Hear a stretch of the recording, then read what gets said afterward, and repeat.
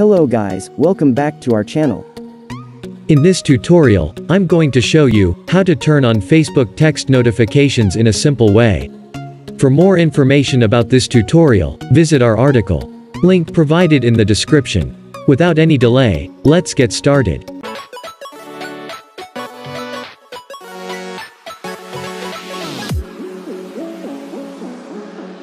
Open any browser. Go to facebook.com and log in to your account. Click on the drop-down icon, which is on the top right corner. Then, a drop-down menu will open. Click on Settings and Privacy, and, again click on Settings.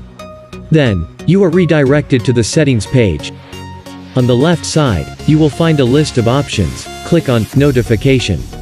Then, you will find all the notification settings. Scroll down to the bottom of page.